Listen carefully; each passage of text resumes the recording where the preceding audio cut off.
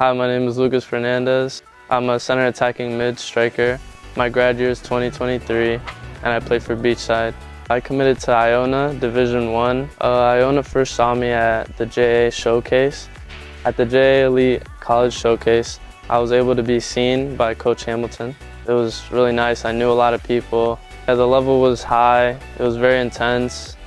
It was very well organized. We had breaks, advice for younger players going through the same recruiting process and going to these showcases, just have fun, play your game, work hard.